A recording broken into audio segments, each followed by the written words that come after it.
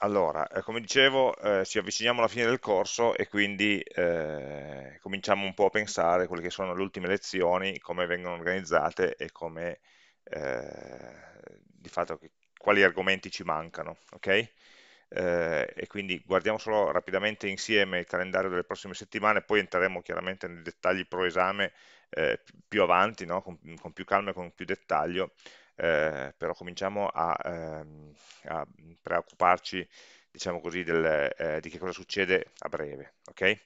Allora, sul sito ho aggiornato il calendario, hm?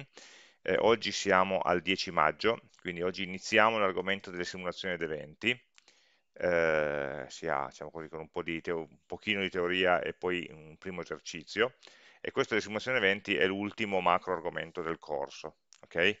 Quindi alla fine i, i macro argomenti d'esame sono eh, chiaramente l'uso dei, dei grafi, eh, la lettura del database, eh, la ricorsione e le simulazioni, che è l'ultimo argomento che ci rimane. Sui grafi rimangono ancora un paio di, di, di- di lezioncine da fare sui cammini minimi e sui cicli, ma le inseriremo più avanti, eh, perché non ci sono di ostacolo per quanto riguarda gli altri esercizi che faremo. Mi, mi- mi è piaciuto anticipare l'inizio delle simulazioni, essendo l'ultimo argomento, avere così un pochino di tempo in più per poterlo eh, digerire in certo senso.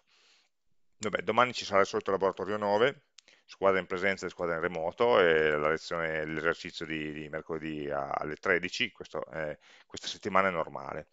La settimana prossima anche è normale, la settimana del 17, quindi eh, avremo la lezione dove appunto vedremo uno dei due argomenti rimanenti sui grafi e andremo avanti sulle simulazioni, vedete che qua c'è l'esercizio sulle simulazioni, e anche mercoledì esercizio sulle simulazioni, e ci sarà il laboratorio 10, sempre qua con la divisione in presenza in remoto, ricordatevi sempre di prenotarvi eh, per la squadra in presenza.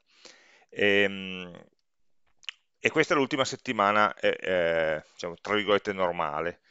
Poi la settimana del 24 e la settimana del 31 invece sono diverse. Ehm, allora, innanzitutto, vabbè, il 24 finiremo l'ultima lezione che ci serve sui grafi, ma questo non è nulla, e da qua in avanti eh, non spiegheremo più nulla di nuovo, quindi praticamente prevedo con lunedì 24 di finire tutti quelli che sono gli argomenti del corso, 24 maggio, ok? Eh, da lì in avanti faremo solamente più esercizi in vista dell'esame. Quindi vedete che nelle lezioni, nell'ordine di lezione c'è scritto temi d'esame, temi d'esame, temi d'esame, eccetera, e basta, niente di più, ok? In più, non è solo esercizi fatti in vista dell'esame, in cui andremo a prendere magari qualche esercizio, eh, forse uno o due dell'anno scorso, eh, ma faremo delle cosiddette simulazioni d'esame. No? Simulazione d'esame significa per noi eh, comportarci esattamente come all'esame reale, no? quindi con le stesse modalità di sorveglianza, eh, con, stesse, eh, con, lo stesso tempo, con la stessa tipologia di esercizio e così via. Okay? Faremo due simulazioni d'esame, no? una farà il 26 eh, maggio nelle ore del laboratorio, che è un mercoledì, quindi in quella settimana il martedì non ci sarà laboratorio in presenza perché dovremo essere tutti online per fare la prova d'esame, visto che l'esame sarà online, eh, anche la simulazione d'esame la faremo solo online, quindi il 25 non c'è laboratorio in presenza. E la seconda simulazione d'esame è prevista per il primo giugno, eh, eh, questa volta è martedì, eh, martedì, ma quel martedì lo faremo eh, in remoto, anche lì per dover fare la simulazione d'esame la dobbiamo fare in remoto. Non la possiamo fare mercoledì perché il 2 giugno è festa. Allora fatemi sapere poi eh, se questo, c'è ancora tempo, quindi ragionateci, se questo vi crea dei problemi, cioè fare, dover fare la simulazione d'esame in remoto dalle 10 alle 13 se vi crea dei problemi per le altre lezioni di quella giornata. Okay? Se vi crea problemi, qualche cosa ci inventiamo in qualche modo. Cioè, se altre lezioni della giornata dovete essere in presenza e qua la simulazione la dovete fare in remoto, eh, io non so esattamente quale sia il vostro calendario e cosa sia previsto eh, negli altri corsi. Eh, quindi al limite mi fate sapere e cerchiamo eh, di trovare una quadra. Purtroppo il 2 giugno cade di mercoledì e quindi non possiamo sfruttare l'orario solito del laboratorio in remoto. Ehm, le lezioni rimanenti saranno dedicate chiaramente alla risoluzione insieme delle simulazioni d'esame, quindi la simulazione del 26, di mercoledì 26, la risolveremo insieme lunedì 31, così come la simulazione del martedì 1 giugno la risolveremo insieme lunedì 7 giugno. Dopodiché, fine, nel senso che il martedì e il mercoledì dell'ultima settimana del corso non ci saranno eh, lezioni. Eh, quindi nel laboratorio, finiamo con le due simulazioni d'esame, non ci sarà un, eh, tredicesimo laboratorio e non ci sarà un, ehm, la lezione del, del mercoledì eh, finale, no? quindi prevediamo di finire tutto lunedì 7 giugno. Mm? Quindi questo è eh, ciò che ci manca come calendario, diciamo così, punti fermi sono la fine del programma lunedì 24, da qui in avanti solo esercizi d'esame, in particolare queste due simulazioni d'esame, numero 1 e numero 2. Per l'esame non useremo Respondus, ma useremo semplicemente Zoom, Zoom che avete già tutti installato, chiaramente perché ci abbiamo fatto l'intero corso, in una, in una modalità attraverso la quale voi dovrete tutti condividere lo schermo contemporaneamente. Okay? Quindi noi facciamo, diciamo così, sorveglianza all'esame eh, semplicemente chiedendovi di tenere microfono, eh, webcam aperti e di condividere lo schermo di ciò che state facendo. Quindi noi in qualunque momento possiamo vedere il desktop di ciascuno di voi e quindi anche verificare che non facciate cose che non sono permesse e l'unica cosa che non è permessa all'esame è comunicare, comunicare con altri, ok? Quindi è permesso eh, consultare appunti, è permesso andare su GitHub a vedere progetti vecchi fatti da noi, fatti da voi, eh, è permesso cercare su internet, su Google, su, su Stack Overflow, sulla documentazione, potete lavorare normalmente con, con internet, l'unica cosa non dovete, diciamo, diciamo così, cercare di comunicare tra di voi. Eh, per il resto si svolge tutto, spero, nella massima tranquillità, senza particolari ansie dovute a respondus o diavolerie del genere, eh, perché semplicemente in quelle due ore voi lavorate sul vostro computer come avete sempre fatto eh, e con in più questa videochiamata accesa e, e, noi che in qualche modo possiamo controllare eh, sia ciò che state facendo attraverso la telecamera sia ciò che state facendo eh, sul vostro eh, desktop. Eh, se si hanno schermi multipli, ehm, normalmente Zoom lo permetterebbe, ma in questa modalità di condivisione multipla no, non lo permette, quindi quello che vi chiederemmo è di eh, disabilitare i secondi schermi, lavorare con uno schermo solo, eh, in modo che lo, noi lo possiamo controllare. Questa è l'unica, diciamo così, handicap che purtroppo vi dobbiamo dare per una limitazione di Zoom che non permette a voi di condividere contemporaneamente i due schermi, quindi a noi di controllarli. È l'unica diciamo eh, difficoltà a cui non siamo riusciti a trovare una soluzione. Per il resto, appunto, niente respondus, niente exam, niente cose complicate. Faremo all'inizio, come vi dicevo, poi torniamo su questi dettagli. No? Eh, all'inizio del corso faremo un appello, incontreremo ciascuno di voi, che vi chiamiamo diciamo così, in, ordine, eh, in ordine alfabetico, ecco, eh, chiedendo eh, la, di far vedere la tesserina e di attivare telecamera, microfono e desktop, che da quel momento fino alla fine devono essere eh, sempre ehm, attivi eh, il, vi daremo un progetto base, così come facciamo per il laboratorio, eh, usando uno strumento che si chiama GitHub Classroom, quindi è un meccanismo un pochino più automatizzato per creare dei progetti, quindi voi, noi vi pubblicheremo un link a cui dovete andare, vi iscrivete eh, e attraverso questo link vi verrà automaticamente fatto il fork del progetto su cui dovete lavorare.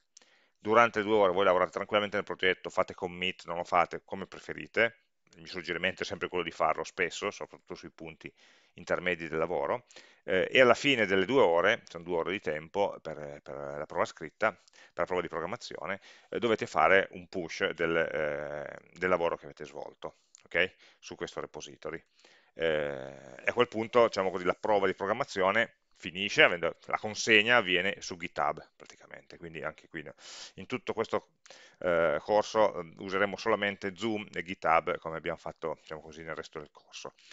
Ehm, dopodiché, dopo la, la consegna, nell'esame, non nelle simulazioni perché non abbiamo tempo, ma nell'esame vero, poi eh, potete, a quel punto vi potete scollegare, scollegare la, la webcam, scollegare il, il, il, desktop, siete liberi perché avete consegnato, e a quel punto vi chiamiamo uno a uno eh, per vedere il programma che avete fatto, fare la verifica, soprattutto la verifica di funzionalità del punto 1, che sapete che è necessario per avere la sufficienza. Quindi vi chiamiamo uno a uno e ehm, ehm,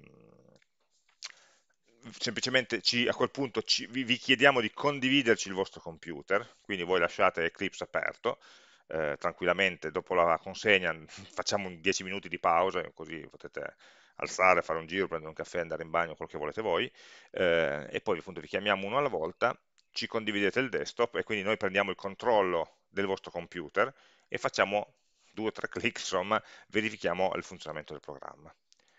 A quel punto, se se il programma non funziona, quindi se il punto 1 non funziona, l'esame non è superato, se il punto 1 funziona, allora a questo punto vi diamo un voto, un punteggio preliminare per il punto 1 e poi nei giorni successivi chiaramente correggeremo il punto 2 e vi daremo poi il, eh, il punteggio finale. Okay? Eh, no, a quel punto non c'è bisogno di consegnare nulla perché in realtà il progetto è già consegnato su GitHub, okay? quindi semplicemente noi ci segniamo che quello è sufficiente, è da verificare e, e quell'altro invece non è sufficiente. Eh, la cosa buona è che il giorno stesso del, dell'esame voi sapete se l'avete superato o no. Eh, se l'avete superato magari non sapete il voto definitivo, sapete il voto minimo che è quello che avete preso dell'esercizio 1 e chiaramente tutto ciò che avete fatto di buono nell'esercizio 2 si andrà poi a sommare, quindi voi, saprete non l'ho passato oppure l'ho passato almeno con X. Mm? Ehm, ci saranno più turni di laboratorio perché siamo in tanti, siete in tanti eh, e quindi non, sarà, non sarà un orario unico, quindi l'orario che è pubblicato sul portale non fa fede noi useremo tutta la giornata, mm, probabilmente, ci sarà un turno probabilmente intorno alle 9, uno intorno alle 11, o no, scusate, alle 12, 13 e un altro intorno alle, alle 16. Quindi se ci fossero anche eh, alcuni di voi che hanno delle sovrapposizioni con esami particolarmente esoterici, le prime sovrapposizioni siamo già riusciti a risolverle, ma quelle magari di nicchia no, eh, noi riusciamo sempre a giocare abbastanza sull'orario dei turni, quindi spostandovi da un turno all'altro. Quindi questa, eh, questo gioco si, ripete, si, per, si ripeterà probabilmente tre volte nella giornata con tre esercizi diversi, sostanzialmente diversi l'uno dall'altro. Um, Mario mi chiedeva se, chiedevo, se terrete il microfono acceso, sì, la richiesta eh, sarebbe quella di tenere il microfono acceso eh, e quindi noi dobbiamo ascoltarci tutti i rumori che capitano in strada, da, da, casa di tutti voi, i cani che abbaiano, eccetera. Potete tranquillamente abbassare il volume, quindi voi, voi potete non essere disturbati, hm? però noi dobbiamo monitorare ciò che succede nell'ambiente. Lara ci darete uno screen di esempio? Sì, esatto, esatto. Infatti abbiamo cominciato a dare questi screen di esempio con gli esami dell'anno scorso perché ci rendevamo conto che appunto magari diciamo, in presenza, in, facendo l'esame in aula era più facile magari dare un'occhiata a quello che facevate, invece in remoto eh, era più difficile per voi riuscire a capire se stavate facendo la cosa giusta, quindi proprio dall'anno scorso agli esami abbiamo cominciato a inserire questi, questi esempi che saranno parte del testo d'esame. Ovviamente noi vi prepariamo alcuni esempi che mettiamo nel testo, altri che useremo noi per verificare se funziona anche in altri casi che non siano strettamente questi.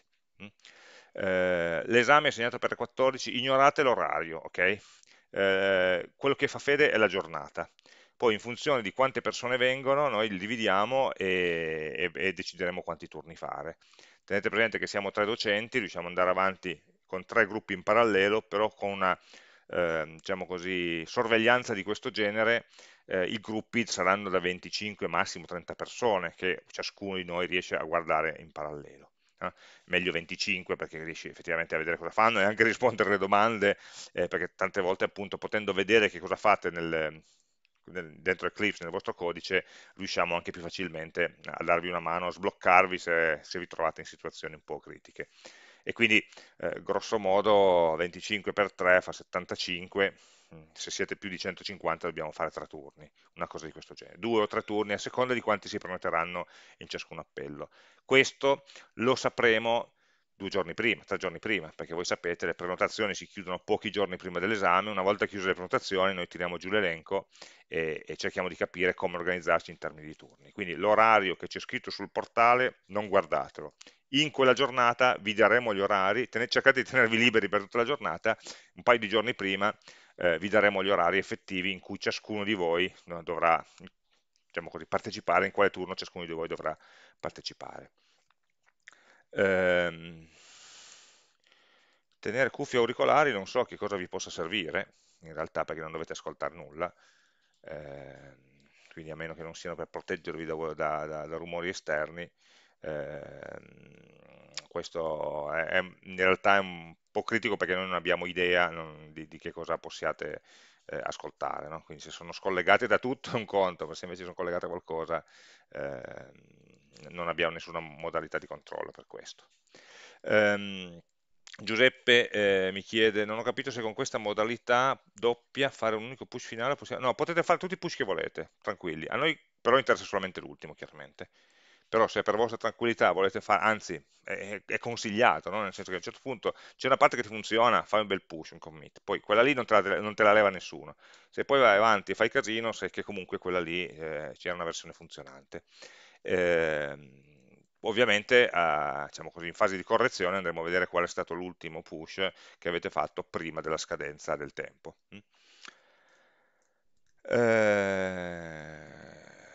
Mm? Eh, le comunicazioni, sì, essenzialmente sì, nel senso che possiamo usare la chat, possiamo sì, essenzialmente quel, il Zoom ti dà un piccolo pop-up se qualcuno scrive un messaggio in chat. Normalmente comunicazioni da parte nostra durante l'esame tendiamo a non darne, nel senso non rompervi le scatole, cerchiamo di avere, siamo più a disposizione per rispondere alle vostre domande.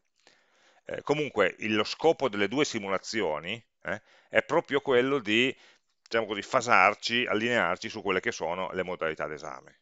Faremo due simulazioni che non sono solamente un esercizio simile a quello dell'esame, ma le modalità esattamente come quelle dell'esame, eh, e, così tutti questi vari dettagli, no, così pratico-logistici, li, li, li, proviamo anche diciamo così, sulla nostra pelle durante queste, queste due settimane, in modo da arrivare all'esame tranquilli sulle modalità di funzionamento di Zoom con la visione dello schermo, sulle modalità di consulenza, sulle modalità di uso di questo GitHub Classroom che appunto è, è, il meccanismo attraverso cui vi viene creato e forcato automaticamente il progetto e quindi noi possiamo andare a vedere tutti in un unico, eh, in un unico repository con i permessi già di scrittura per poterlo vedere.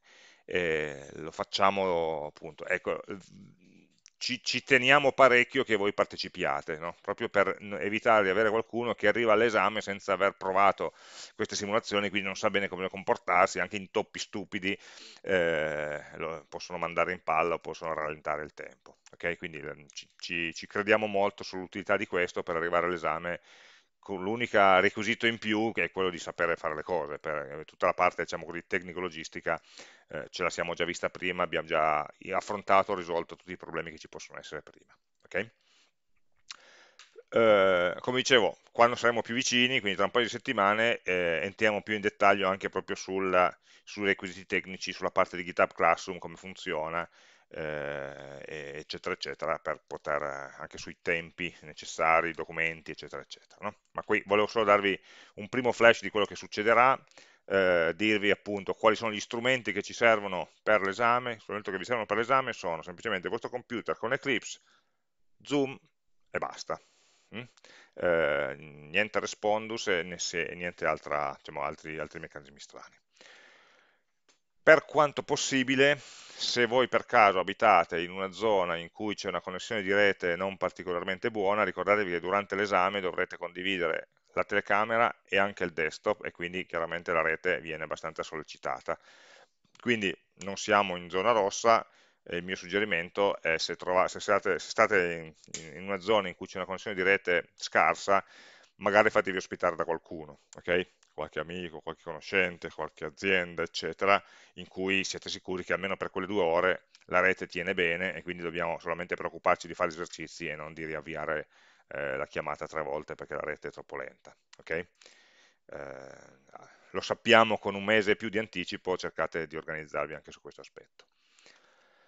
Ok, eh, il Tetran USB non deve, sì, potete avere, se eh, puoi usare un cellulare collegato USB o anche l'hotspot locale, purché chiaramente quella connessione cellulare sia abbastanza stabile. Eh, tipicamente devi attaccare, cioè, ricordati di tenere il telefono in carica e, e, che ci sia una buona rete e una buona copertura nella zona in cui siete, quindi anche, anche mobile va bene fatevi le vostre prove, appunto, durante le simulazioni facciamo le nostre prove, vediamo se ci sono dei problemi oppure no. Mm? Ok, se non ci sono altri dubbi su questa parte, diciamo così, più amministrativa, io passerei a eh, introdurre l'argomento di oggi, okay? che è quello eh, delle, delle, simulazioni ad eventi discreti, a cui arriveremo tra un attimo. Eh, prima però abbiamo bisogno di eh, familiarizzarci o fare la conoscenza no? con una nuova struttura dati, che è una variante, diciamo così, un pochino più intelligente delle liste, no? che prende il nome di code prioritarie. Poi quando vedremo le simulazioni di eventi capiremo immediatamente perché ci servono eh, queste informazioni.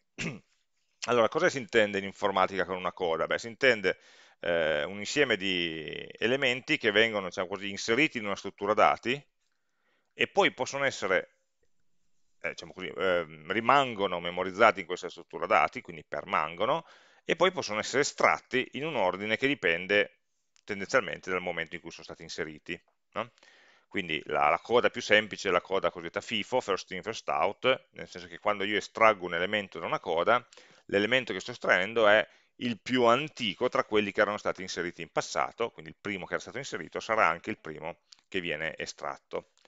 Eh, noi questo lo possiamo fare facilmente con una lista, preferibilmente una lista linkata, in cui posso fare un append in fondo dell'ultimo elemento, dell'elemento appena arrivato, e invece estraggo, eh, faccio un remove del primo elemento della lista eh, quando ho bisogno di estrarlo. No?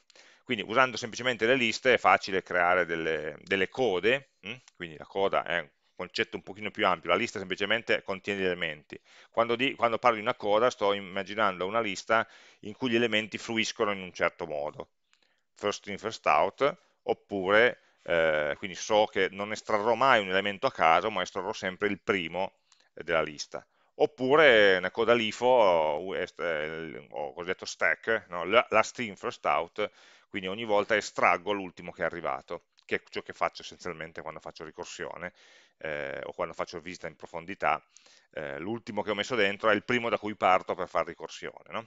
Eh, è un altro modo chiaramente di, di, gestire una coda di elementi, il primo che è entrato sarà quello che, che deve aspettare per più tempo, però è una logica che in alcuni contesti può aver senso. Ehm, vabbè, quindi se dovessimo fare una coda puramente first in, first out, non avremmo bisogno di nulla che già non sappiamo, usiamo semplicemente una lista, tipicamente una linked list, perché nell'array list andare a spostare gli elementi in là di una posizione è un'operazione che ha complessità inutilmente eh, maggiore. Ehm, per quanto riguarda invece eh, altri eh, criteri no, di gestione di una coda, eh, entriamo nel mondo delle code prioritarie, in cui il criterio di estrazione del prossimo elemento non è solamente in base al tempo di inserimento, ma anche in base al valore dell'elemento stesso. Quindi una cosa prioritaria è una cosa in cui eh, eh, io posso inserire degli elementi in qualunque momento e eh, ovviamente posso leggere un elemento per volta, ok? Uno per volta, ne inserisco anche uno per volta e ne estraggo uno per volta. Quando estraggo un elemento, l'elemento che viene scelto non è né l'ultimo inserito né il primo inserito, ma è un elemento, diciamo così, in mezzo, che abbia certe caratteristiche, mm, che tipicamente minimizza una certa funzione o massimizza una certa funzione, dipende come prendete i segni. Eh, ma diciamo minimizza una certa funzione, è quello che ha eh, la priorità più alta e come priorità di solito usiamo un numero che tende a crescere con, con la, mm, a essere sempre più, più, piccolo se la priorità è più alta, per quello si parla di minimizzazione. Ehm, e quindi tra tutti gli elementi che ho inserito prende il minimo e me lo fornisce in uscita, poi ovviamente lo cancella, la prossima volta che chiederò un, un elemento in uscita eh, prenderà il minimo successivo tra quelli che c'erano nella lista, a meno che ovviamente non sia arrivato in ingresso un altro elemento che ha un valore eh, ancora più basso e quindi ancora eh, maggiormente prioritario. Quindi l'ordine di uscita degli elementi non è l'ordine cronologico di arrivo, ma è un ordine che dipende dalla appunto, priorità, dall'importanza degli elementi eh, inseriti. Mm, se voi andate al pronto soccorso, quello che c'è scritto in 12 cartelli giganti, vi dicono sempre attenzione che l'ordine di chiamata non coincide con l'ordine di arrivo, ma l'ordine di chiamata dipende dal grado di severità, di gravità no, di ciò che vi è stato diciamo così, etichettato in fase triage. Ehm, e quindi ogni volta estraggo eh, il, il, paziente che ha più bisogno urgente, che ha bisogno più urgente di essere, di essere visitato, di essere, di essere, visto da un medico. Quindi se arrivi lì che hai, diciamo così, la classica unghia, è proverbiale unghia incarnita, sei, sei sicuro di aspettare delle ore, perché ti chiameranno solo quando tutti coloro che hanno qualcosa di più grave saranno passati. Eh, se invece hai, arrivi, diciamo così, speriamo di no, in arresto cardiaco, è molto probabile che passerai davanti a tutti. Ma questo passare davanti è un concetto sbagliato, perché non c'è un una lista ordinata e tu la scavalchi, semplicemente tu entri e nel momento in cui entri sei quello che ha la priorità più alta e quindi la prossima volta che ci sarà un posto libero immediatamente eh, toccherà a te, hm? perché tocca a te non perché sei arrivato prima, ma tocca a te perché hai una priorità maggiore. Come facciamo a implementare una struttura dati di questo genere? Eh, beh, uno potrebbe dire, vabbè, una lista, no? Una lista, inserisco gli elementi e poi ogni volta che devo estrarre un elemento da questa lista calcolo il minimo elemento, del, elementi, dei valori di priorità degli elementi della lista stessa e una volta che questo minimo lo estraggo. Mm? Eh, lo estraggo, lo fornisco in uscita e dalla lista ovviamente lo toglierò. Questo si può fare, ha un po' un problema che eh, il tempo no, di cancellazione di un elemento, ma anche solo di, di calcolo del massimo, è un tempo ODN, eh, o del massimo o del minimo. Ha un tempo ODN perché per calcolare il massimo o il minimo di una lista devo ehm, scandirmi tutti gli elementi. E poi una volta che l'ho trovato devo estrarlo, nel caso di una array list estrarre un elemento significa ricompattare la lista, nel caso di una linked list è più leggera come operazione, ma, eh, ma in ogni caso devo prima trovarlo e poi cancellarlo. Quindi mi darebbe delle operazioni di una complessità ODN, cosa che magari provo a evitare. Potrei decidere, ma la lista, mi, eh, perché la devo tenere ordinata per ordine di inserimento? La ordino per ordine di priorità. Allora, se io ho una lista di elementi che è già ordinata per ordine di priorità, eh, il primo elemento della lista sarà quello che deve uscire, sarà il prossimo ad essere chiamato. E quindi, eh, diciamo così, è molto efficiente in fase di estrazione. Eh, l'inserimento invece non è altrettanto efficiente, perché io ho un nuovo elemento, devo, ho una lista ordinata, non la posso inserire in fondo, lo dovrò inserire in mezzo alla lista nella posizione opportuna in base al suo valore e quindi o faccio un'operazione tipo insertion sort, che vado a cercare dall'inizio qual è il primo elemento il cui valore è maggiore o uguale del, dell'elemento corrente, oppure lo inserisco in fondo e faccio un piccolo algoritmo di ordinamento sulla lista, ma in ogni caso la complessità è almeno ODN anche in questo caso.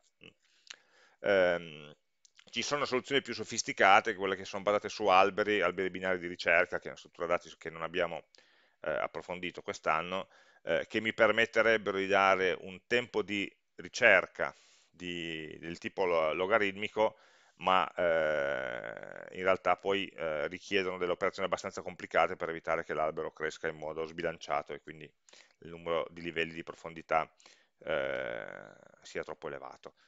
Eh, ci sono quindi le soluzioni con le strutture dati che conosciamo non sono particolarmente no, efficaci e proprio per questo sono state inserite nelle collection di Java eh, delle classi appositamente per poter eh, diciamo così, implementare delle code prioritarie. No? Quindi vedete che questo è il diagramma delle classi delle collection di Java, noi abbiamo un'interfaccia queue che dice ok, tutte le, queste classi implementano questa interfaccia queue, adesso vediamo di quali metodi è composta.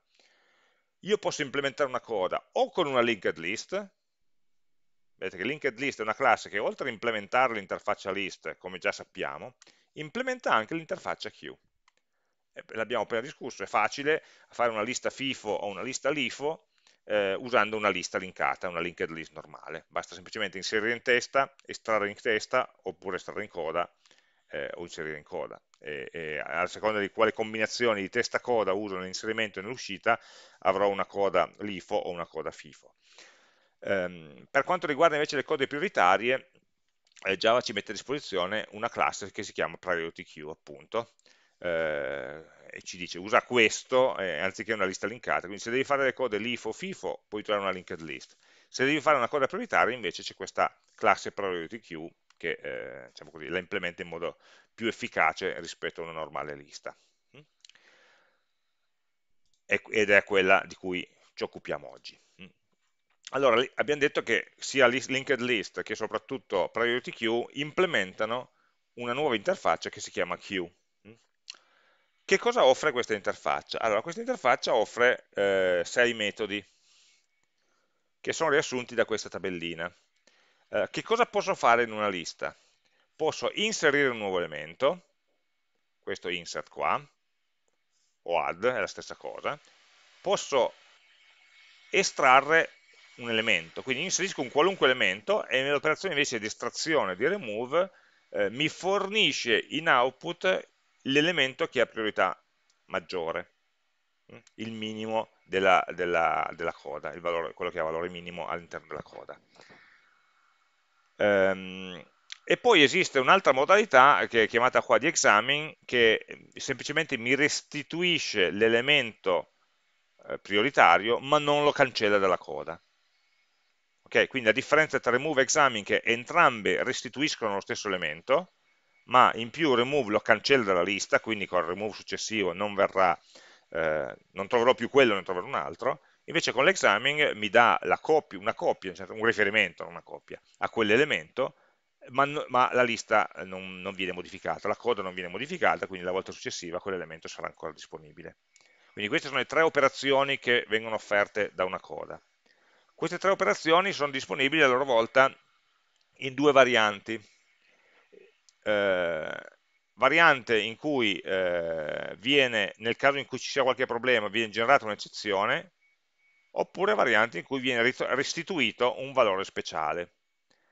Quali sono i casi particolari? I casi particolari, beh, nel caso di una insert, in teoria sarebbe possibile no, che quando cerco di fare insert la coda sia già piena e quindi non ci sta l'elemento che voglio inserire.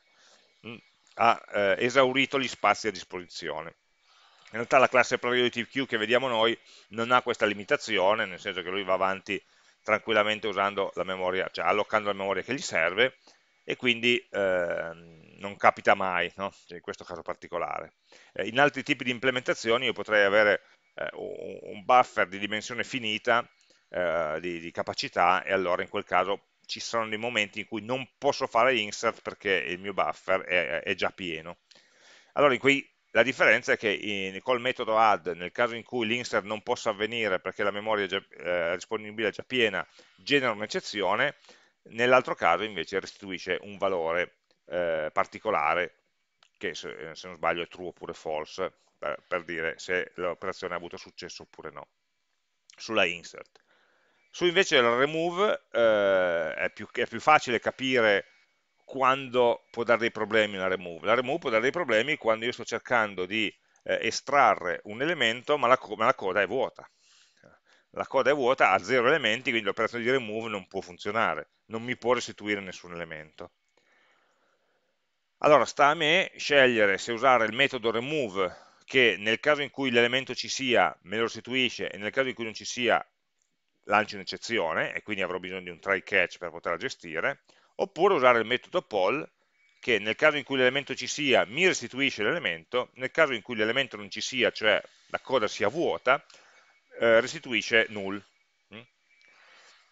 Essenzialmente la scelta è nostra come diciamo, stile di programmazione, eh, diciamo che se sto gestendo una coda è, è ricade tra i casi normali no? il fatto che non ci sia un elemento, no? perché ho, ho diciamo, elaborato già tutti quelli che dovevo elaborare. Quando uno va al pronto soccorso e dice avanti il prossimo, si guarda intorno non c'è nessuno.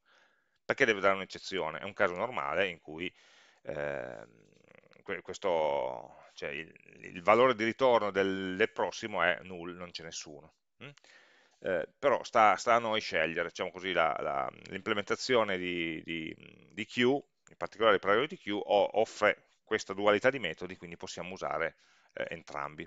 Eh, dico, per abitudine mm, tendiamo a usare il metodo add per inserire, che tra l'altro è lo stesso delle liste, quindi diciamo così ci trova abbastanza no, già, già, lo conosciamo, e per estrarre eh, forse è più comodo il metodo poll perché non mi devo gestire un try catch, eh, semplicemente devo controllare però che l'elemento che è restituito sia diverso da null.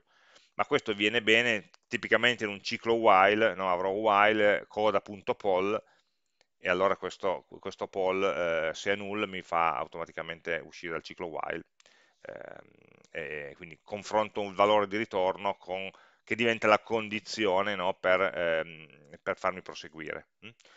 Questo chiaramente quando arriviamo al codice lo vediamo. Però possiamo usare questi, eh, eh, ciascuna di queste modalità a seconda di come preferiamo.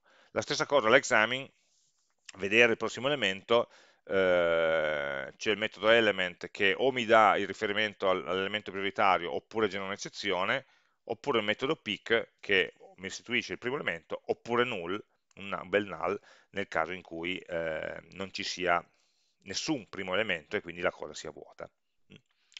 Eh, tutto qua, diciamo, alla fine questi sono i metodi eh, che vogliamo conoscere e eh, l'interfaccia queue è implementata da molte classi diverse che hanno caratteristiche diverse. Eh, noi non le guardiamo tutte, anzi non ne guardiamo quasi nessuna, molte di queste strutture dati sono state pensate per sincronizzare diverse parti di programma che vanno avanti indipendentemente. Cioè se voi avete un programma complicato con molte parti parallele, molti thread paralleli che vanno avanti ciascuno con la propria elaborazione e hanno bisogno di comunicarsi, di scambiarsi i dati tra di loro, allora un modo diciamo, abbastanza mh, sicuro di scambiarsi i dati è proprio quello di mandare dei messaggi su una coda. Ehm, queste code saranno code che devono essere diciamo, gestite in modo particolare perché eh, chi, il thread che inserisce un dato è diverso dal thread che estrae quel dato lì. Eh, e allora devono essere implementate diciamo, in modo diciamo così, sicuro per il, per il multithreading eh, e, e, ci sono varie, varie diciamo così, modalità di, eh, di, gestione di questo, no? cioè, ad esempio cosa succede se io sto per leggere un dato da una coda che è vuota, eh, mi istituisce nulla e vado avanti, oppure blocca il mio thread e così il mio thread rimane in attesa fino a quando qualcun altro dall'altra parte ha inserito dei dati nuovi. Quindi vengono usati come meccanismi anche di sincronizzazione tra più processi o tra più thread diversi. Questa parte ovviamente non, non andiamo a vedere perché in questo corso noi non trattiamo la programmazione concorrente, quindi tutte queste classi diciamo così, complicate non andiamo a vedere. Ce ne sono alcune che hanno un nome strano, che si chiama DEC, scritto deque ma pronunciato DEC di solito. Um, DEC è la contrazione di double ended queue, cioè eh, una coda con due eh, estremità. Eh, un DEC è una coda in cui posso inserire da un lato, eh, già fatto una coda che implementa contemporaneamente sia le funzionalità FIFO che le funzionalità LIFO. Quindi posso inserire in testa o in coda estrarre in testa o in coda. Alla fine è quello che fa una, una lista linkata, però eh, il deck di fatto mi dà già dei metodi apposta ehm, per fare questa operazione. Quindi una lista, una coda bidirezionale eh, ordinata. Oppure, eh, vabbè, questa lasciamo stare, oppure c'è la nostra classe priority queue che è qua in mezzo, vedete la penultima qua, eh, che invece andiamo a studiare più in dettaglio. Allora, priority queue non fa altro che eh, implementare no? i metodi che abbiamo visto prima, in particolare il metodo add, il metodo eh, pick oppure poll, eh, c'è anche poll, eh, la differenza sappiamo che restituisce oppure no l'elemento, eh, no scusate, poll è messo qua, perché qui parla di complessità, eh, estrarre il primo elemento, aggiungere un elemento, eh, azzerare la lista, hm? e volendo iterare sulla lista stessa, ma in realtà è un'operazione che tendiamo a non fare perché io posso iterare su una lista se so che questa non cambia nel frattempo, ma una coda è proprio stata pensata per dire man mano che estraggo elementi me ne arriveranno degli altri, quindi li devo estrarre in un certo ordine. Quindi iterare su una, su una coda prioritaria spesso non, non, ha senso perché presumerebbe che io già conosca adesso qual è il contenuto della coda, allora a questo punto basta fare un array e metterlo in ordine. No, non, la coda proprio il vantaggio è che io posso aggiungere elementi e mentre ne aggiungo un po' ne estraggo un po' e così via e sempre si, mantiene, si mantiene sempre questa, eh, questa proprietà di, di, essere in grado di estrarre il primo. Ecco, eh, questa implementazione di questa priority queue ha la proprietà di, eh, di avere una complessità log logdn sia per l'inserimento che per l'estrazione.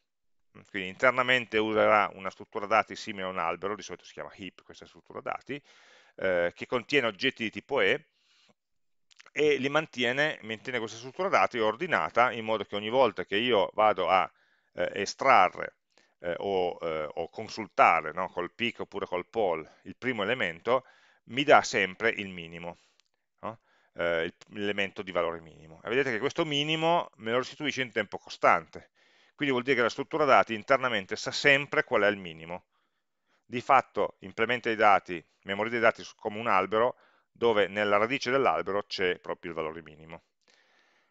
Dar, dirmi qual è il valore minimo, quindi un'operazione a costo costante, non deve scandirsi gli elementi, chiaramente dopo che tolgo eh, il minimo dovrò un attimo riorganizzare gli altri elementi successivi per trovare qual è eh, il prossimo eh, e quindi eh, la riorganizzazione dell'alberello quando aggiungo un elemento o quando lo tolgo ha un costo log di n perché c'è un logaritmo, ma perché se io dispongo gli elementi ad albero, il numero di livelli dell'albero è pari al logaritmo, se l'albero è ben bilanciato, è pari al logaritmo del numero di elementi in totale. Mm? Quindi è una struttura dati molto efficiente che fa questo lavoro, fa solo questo, eh, pensate, cioè, se noi vogliamo memorizzare dei dati per mantenerli ordinati, per una coda FIFO non ha senso usare questa struttura dati, perché basterebbe una linked list che ha O di 1 come complessità. Se invece devo eh, tener conto di un fattore priorità, eh, questa è la soluzione più efficiente che si conosce. Ovviamente qui stiamo parlando di un minimo, mm? Minimo di che cosa? Minimo del valore degli elementi di tipo E che stiamo mettendo nella, nella coda prioritaria.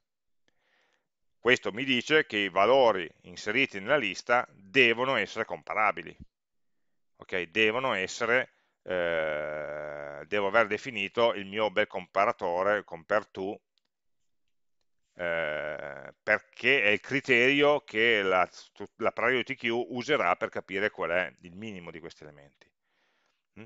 Quindi eh, posso inserire degli elementi purché siano, vabbè, abbiano il solito hash code e equals e anche compare to definiti correttamente. Questo è il prerequisito minimo perché un oggetto possa essere inserito in una coda di tipo prioritario e devo, devo, devo poterli mettere in ordine, devono essere ordinabili questi elementi. Okay? Eh, la struttura dati che viene utilizzata, noi non entriamo nel dettaglio di come funziona, ma è abbastanza curiosa, è una struttura dati che si chiama heap, ehm, che è, ha una proprietà eh, molto semplice, è un albero in cui il figlio sinistro eh, e il figlio destro della, di un albero binario, no? in cui i due figli di, un, di ciascun elemento sono maggiori dell'elemento stesso. Quindi eh, 10 è più piccolo sia di 20 che di 80, cioè i due figli del 10 sono maggiori di 10. Quindi eh, e questa proprietà vale chiaramente ricorsivamente per tutto l'albero, quindi sotto il 20 ho due nodi che sono 40 e 60 che sono maggiori di 20, sotto il 40 ho due nodi che sono maggiori di 40, sotto il 60 in questo caso un nodo solo che è maggiore di 60 e così via. Con questa proprietà vedete che l'albero non è ordinato, non c'è un ordinamento che mi permette di andare dal più piccolo al più grande visitandolo in qualche modo. Però la radice è il valore più piccolo, sempre per definizione, perché se la radice è maggiore di questo e quale a sua volta è maggiore di quell'altro, eccetera. Ehm, quindi la radice è sempre il minimo. Quando estraggo un elemento, che cosa faccio? Cancello questo e poi dovrò scegliere tra il 20 e l'80 qual è il minimo, il nuovo minimo, e ristrutturare un pochino l'albero, quindi di fatto rimescolare eh, questo 20 lo porterò su, diventerà la nuova radice, eh, e, e, a questo punto mi devo chiedere dove mettere questo nuovo albero della parte di 80, provo a agganciarlo qua sotto, potrei agganciarlo qua sotto e ci starebbe bene. Poi c'è tutto un, un meccanismo no, per eh, mantenere questa proprietà, no, la proprietà che i figli sono sempre maggiori del padre, ehm, e evitare che eh, l'albero diventi troppo grande, degeneri in lunghezza. No?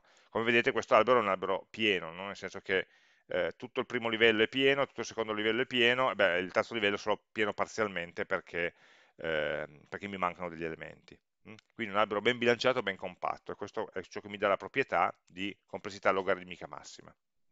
Quindi se qualcuno è interessato, è curioso di vedere come funziona questa struttura dati, appunto andate a cercare gli IP, come funzionano, e l'altro dettaglio carino è che questa, mh, noi la disegniamo come un albero, ma in realtà in, internamente è implementato semplicemente come un vettore in cui ci sarà scritto 10, 20, 80, 40, 60 e così via. Quindi una, diventa un array list semplice in cui però le operazioni vengono in un certo modo.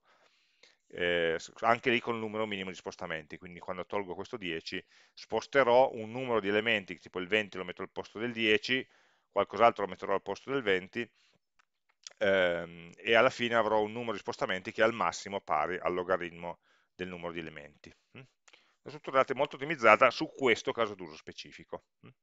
Ci fidiamo che, che esista, ehm, ci ricordiamo che gli elementi che vogliamo inserire devono essere chiaramente definiti come eh, elementi che implementano l'interfaccia comparable, per poter essere eh, altrimenti non riuscite a, a, creare, a, creare, la lista se non, se non, è, se non sono confrontabili, quindi dobbiamo implementare il comparator.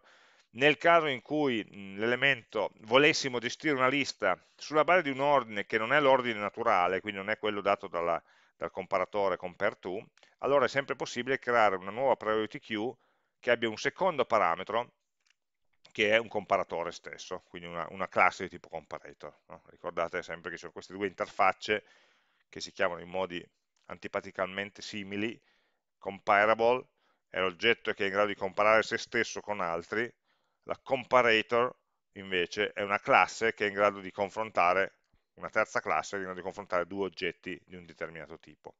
Mm? Eh, e quindi permette di aggiungere altri criteri di confronto oltre al criterio di confronto naturale dato dal metodo compareTo. Mm? Ricordiamo anche, già che ci siamo, che compareTo deve essere compatibile con equals, nel senso che tutte le volte che equals è true, compareTo deve restituire 0 e viceversa, altrimenti stiamo andando a caccia di casini. Mm? Uh, se noi dovessimo inserire una coda prioritaria gli elementi che arrivano da, un database, probabilmente anche compare2 dovrà lavorare sullo stesso criterio con cui usa equals, cioè la chiave primaria del database, che non è detto che sia il dato con cui vogliamo or organizzare la nostra priorità, e allora a questo punto possiamo tranquillamente definirci un'altra classe comparator che lavora invece su altri attributi, mh, hm, che, non siano, ehm, che non siano la chiave primaria essenzialmente. Ehm, ok, questa è la struttura dati no? eh, di cui diciamo così, abbiamo iniziato a parlare. A cosa ci serve? Eh, a cosa ci serve? Lo vediamo parlando di simulazione di eventi. che è, come vi dicevo, l'ultimo macro argomento di cui ci stiamo occupando in questo corso. Mm? Simulazione a eventi discreti che è una delle tecniche possibili per eh, affrontare la, la, risoluzione di un problema. No? Noi abbiamo visto una risoluzione di tipo eh, eh, esaustivo con la ricorsione, cioè ho un problema, cerco tutte le possibili soluzioni possibili immaginabili e, e trovo quella ottima. Ma spesso quella ottima abbiamo purtroppo constatato che richiede un tempo di elaborazione diciamo così, non, non, non accettabile e allora ci sono altri, altri modi di affrontare i problemi. Eh, tipicamente quando uno ha un problema, diciamo così, decisionale, no? eh, deve valutare tra diverse alternative. Allora sarebbe bello poter dire io ho un modello perfetto, eh, ho i parametri di questo modello e li ottimizzo esattamente questi parametri in modo da ottenere la soluzione ottima. Hm? E, eh, questo ovviamente non si può fare, sia perché appunto il calcolo di questa soluzione ottima richiederebbe un tempo spropositato, sia anche perché il modello che uso spesso è approssimato e quindi magari una soluzione ottima di quel modello ma non della, della realtà. No? Eh, la complessità del, diciamo così, dei fenomeni reali è tale per cui i modelli che usiamo ne catturano solamente una, una piccola parte, sono più astratti, sono più semplificati e, e, complicare il modello poi alla fine non è detto che lo renda più aderente alla realtà. No? non, non, voglio raccontarvi troppi aneddoti, ma mi ricordo cioè, già più di una volta, no? cioè, la, la, tipica crisi che c'è sempre quattro volte all'anno al Politecnico sugli orari delle, delle lezioni, sugli orari degli appelli, no? che quando, quando, esce il calendario, disastro, fa schifo, eh, non funziona, ci sono sovrapposizioni, eccetera, eccetera, no? eh, perché viene fatto a mano. Allora, già più volte eh, ho già assistito a, a, dei tentativi di dire no, no, ma automatizziamolo, facciamo un algoritmo che mi calcoli l'orario eh, automaticamente eh, e tutte le volte che è stata provata questa operazione alla fine eh, l'orario che usciva fuori era molto peggio rispetto a quello che veniva fatto tradizionalmente a mano con poi pubblichi, trovi, trovi i bug, li correggi, cerchi di, di, di, di, risolverli, eccetera, eccetera. Perché il problema è talmente complicato, vincolato, studenti che hanno più corsi, professori che hanno più corsi, limiti delle aule, la capienza, eccetera, minimizzare gli spostamenti, le transumanze da un'aula all'altra, non avere un'ora eh, che ne so, in Corso Duca e l'ora successiva a Mirafiori, eccetera, fanno sì che i vincoli siano talmente tanti che un algoritmo crede di aver trovato un ottimo e poi quando vai a vedere quell'ottimo vedi che dal punto di vista della singola persona magari si deve fare 18 ore eh, di fila in un giorno, eccetera, eccetera. Mm. E, eh, e quindi a volte si preferisce costruire delle possibili soluzioni e valutare quanto sono buone mm. attraverso dei meccanismi che sono appunto di simulazione cioè costruiamo un modello e proviamo a giocare, sperimentare con questo modello per vedere che cosa ci tira fuori, no? quali dati eh, emergono. E io provo con la, con la facendo un esempio stupido dell'orario, eh, con un certo orario e lui mi dice guarda, con questo orario qui il numero di studenti che si spostano è 12.000, il numero di studenti che fanno troppe ore al giorno eh, è tot, il numero di studenti che devono venire per una lezione sola è tot, e, e mi danno delle metriche sulla soluzione che ho, che ho proposto. Eh, capi, ragiono su queste metriche e provo un'altra configurazione, provo a modificare qualcosa, a migliorare e lui mi simula l'effetto no, di quello che è la mia scelta. Quindi in un algoritmo di simulazione non è il sistema che mi dice qual è la soluzione, sono io che propongo una soluzione e l'algoritmo mi aiuta a capire le, la bontà o meno, quindi i punti di forza e i punti di debolezza della soluzione che ho proposto. Questo soprattutto per sistemi che sono relativamente facili da modellare, quindi capire come evolvono, ma molto più difficili da invertire, quindi partire dall'output e tornare qual è l'input diciamo così, eh, ottimo che mi permette di ottenere un certo output. Ho, non ho bisogno di modellare un sistema di equazioni che vi dia il minimo, ho bisogno semplicemente di implementare qualche cosa che mi appunto, simuli eh, il comportamento del sistema. E con questo meccanismo provo diversi scenari e valuterò alla fine eh, qual è lo scenario migliore, qual è lo scenario più adatto. No? Ehm, mi serve quindi per fare delle valutazioni di tipo no, what if. No? Allora, ho io un sistema, cosa succederebbe se cambiassi questo, se modificassi un parametro? Allora vado a vedere qual è eh, l'impatto sull'output. Chiaramente i sistemi, tutti umani, sono sistemi non lineari, non è che se raddoppi l'input raddoppia l'output, ma se modifichi l'input il sistema magari si comporta in un modo completamente diverso, e, e, in modo non intuitivo e quindi in qualche modo no, cioè, ho, uno, ho, bisogno di uno strumento che mi permetta no, di, di, analizzare diversi scenari in un modo relativamente semplice. Quindi noi abbiamo varie ipotesi, vari scenari, varie eh, soluzioni possibili no? che vogliamo proporre al sistema e abbiamo un algoritmo che a fronte di un certo scenario mi dice guarda se tu mettessi in campo questo scenario reale, quindi questi valori di parametri, avrai certi risultati eh, ovviamente lo scenario va definito in termini di variabili, di valori, no? di, di, di, dati, e i risultati anche qui vanno misurati decidendo quali sono delle grandezze quantitative che voglio andare a osservare, a misurare. Mm? Ehm, e quindi eh, cosa succede? Eh, che ci sarà poi una persona, qui c'è uno user, non c'è un algoritmo, c'è una persona vera che va a valutare questi risultati e eventualmente modifica gli scenari, li adatta, li valuta e così via. Mm?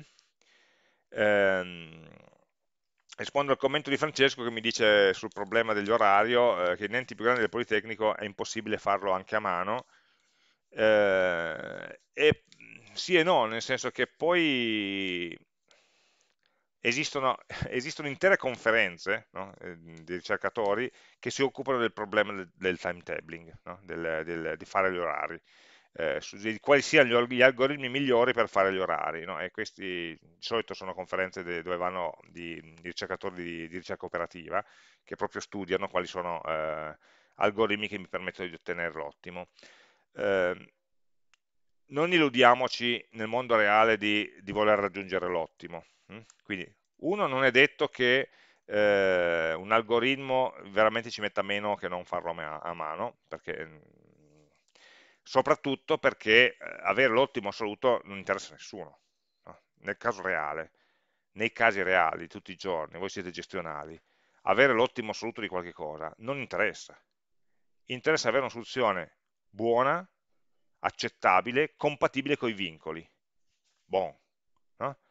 poi una è un po' migliore di un'altra, o è un po' più rapida, un po' più veloce, ma la soluzione devo averla in tempi ragionevoli, devo sapermela gestire, devo saperla modificare facilmente, perché poi se capita qualche variazione e devo aggiustare questa soluzione, se questa soluzione mi è stata generata di botto da una macchina che magari ha lavorato una settimana, se io devo modificare un parametro, devo, cosa faccio? Riottimizzo tutto da capo e quindi mi salta fuori un risultato completamente diverso da quello di prima? Non è accettabile nel mondo reale. Io devo avere un sistema in cui posso anche agire a posteriori per fare dei piccoli aggiustamenti. E voi lo sapete che se io prendo un sistema che anche avesse la soluzione ottima e se faccio un piccolo aggiustamento, a fronte chiaramente di mutate condizioni di ingresso, la soluzione che ottengo non sarà più ottima, ma non importa, no? nel senso che eh, l'importante è che la soluzione sia ancora accettabile, nel senso che rientri nei vincoli progettuali che mi sono dato, di tempo, risorse, capacità, eccetera, eccetera. Mm? Eh, quindi ciò che si fa è spesso di, eh, se torniamo all'esempio nostro del, dell'orario, di eh, accettare a priori che non, non otterremo mai nessun ottimo e partizionare il problema.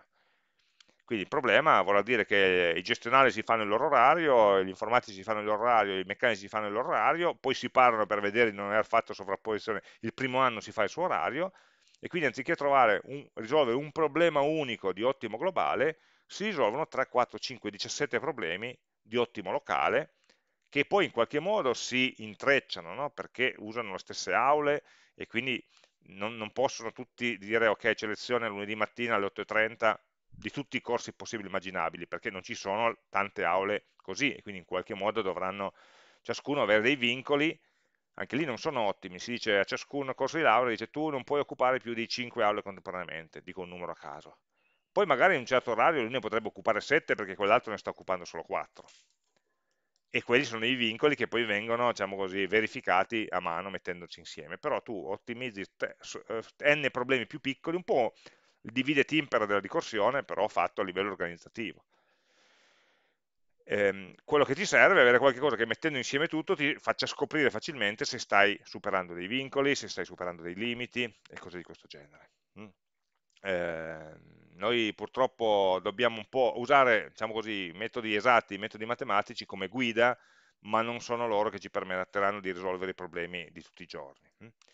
Ehm, quindi purtroppo dobbiamo fa fare i conti con la realtà, ma anche perché, eh, lo ripeto ancora una volta, eh, un qualunque modello matematico voi facciate non riesce mai a rappresentare tutti i vincoli di cui ho bisogno e non riesce mai a rappresentare tutti diciamo i fattori di qualità, tutti i KPI, tutti diciamo così, il, i, i fattori in base ai quali valuto quale sia la bontà di un risultato. No? Eh, come fa un, un modello dire se è meglio avere tre ore di lezione di fila oppure due ore, poi una pausa più un'ora staccata? Eh, sono io che lo decido, metto dentro i coefficienti arbitrariamente, però quel modello lì, di nuovo è un modello che ho taroccato per far venire in un certo modo, non rappresenta una, tra virgolette, realtà oggettiva da ottimizzare. No? Nei sistemi umani e sociali è sempre così.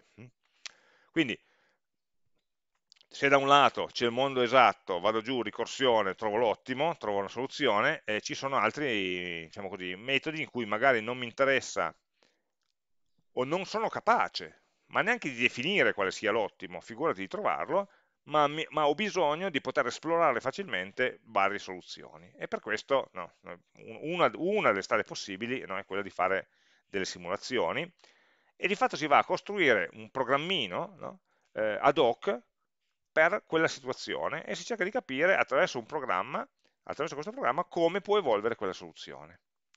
Poi ovviamente il giudizio finale ce l'avrà l'utente, ce l'avrà l'uomo, ce l'avrà qui c'è scritto il manager, voi volete fare il manager e quindi in qualche modo dovete tenervi un po' di lavoro, non potete farvi sostituire da un ottimizzatore, no? dal, dal, metodo del simplesso. Oh, io ho il simplesso, non mi serve più un gestionale. No, no, non funziona così per fortuna vostra.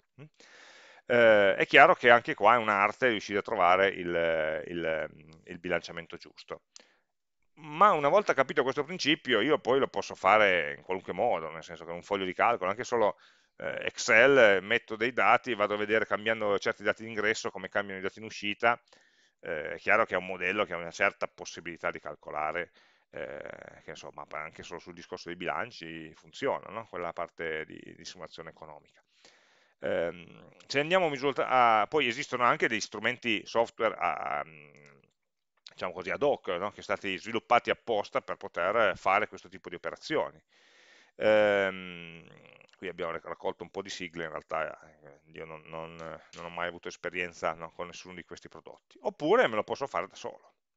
Impariamo a farcelo, chiaramente con i limiti, eh, da solo in Java, quindi capire come potrebbe essere l'approccio no, per costruire un nostro eh, simulatore. Quindi noi abbiamo un fenomeno che vogliamo eh, cercare di gestire, progettare al meglio e ci costruiamo uno strumento che ci permetta di, eh, di giocare no, con questo fenomeno, di provare a cambiare i parametri di ingresso e vedere come, come variano i parametri di uscita. Questi tipi di simulatori possono essere di tipo deterministico, e quindi ogni volta che, stesso, ogni volta che fornisco gli stessi parametri di ingresso otterrò gli stessi risultati di uscita, oppure molto più probabilmente saranno modelli di tipo stocastico, nel senso che eh, ogni volta che fornisco dei parametri di ingresso, internamente il modello avrà un suo comportamento randomico, statisticamente variabile, e quindi ogni volta che fornisco certi valori di ingresso otterrò dei valori di uscita che possono essere diversi, no? che tengono conto perché deve essere eh, stocastico, perché deve essere deterministico il modello, ma perché la, la, la casualità in qualche modo mi compensa la incertezza o la non conoscenza della realtà. Io non conosco esattamente un determinato valore, eh, adesso si fanno tutti questi bei modelli, ma non voglio fare gli esempi del Covid perché ne abbiamo so, fin sopra i capelli, no? eh, però immaginiamo anche un modello di produzione. Io prevedo che il mese prossimo produrrò il 10% in più, o venderò il 10% in più, ecco. Però 10 non è un numero 10,00000, è, è una previsione, poi magari sarà 9, sarà 8, sarà, magari sarà 11. E quindi il mio modello è più robusto se io lo faccio viaggiare con dei numeri che hanno una fluttuazione statistica. Faccio una simulazione, ottengo un valore. Rifaccio la simulazione e otterrò un valore diverso perché internamente no, i coefficienti hanno assunto dei valori diversi che simulano dei diversi sottoscenari su cui, di fattori su cui io non ho il controllo diretto. E allora andrò a vedere, facendo più simulazioni diverse, se l'output è abbastanza robusto, cioè nel senso che alla fine i risultati finali, anche con le fluttuazioni statistiche interne al modello, eh, danno dei risultati comunque accettabili. Mm? Eh, quindi questa, modelli stocastici mi servono sia appunto per eh, modellare una imprevedibilità dal, derivata da fattori esterni, cioè mia, eh, le mie vendite non dipendono da me, dipendono dai miei clienti e se i clienti decidono di comprare di più o di, di comprare di meno è un fattore esogeno cui, su cui io posso fare delle previsioni ma non ho il controllo esatto, quindi sarebbe sbagliato avere un numero secco o anche da, da, da, fattori endogeni, cioè la mia produzione, magari c'è un, un, intoppo, mi cresce il server, tanto per fare esempio del Politecnico, e quindi ciò che prevedevo di fare oggi non riesco a farlo e quindi sarò in ritardo, dovrò farlo domani, eccetera. E quindi avrò dei fattori dati dall'imprevedibilità anche della gestione delle cose. È chiaro che un modello deterministico è più facile da scrivere, più facile da implementare, un modello stocastico sarà più complesso, anche perché poi devo anche immaginarmi quali sono le distribuzioni statistiche dei vari eventi per farlo bene, ehm, e, ma mi darà dei risultati che magari sono più, più, più realistici, più affidabili, no? più, più, robusti. Ehm, e c'è uno spettro infinito.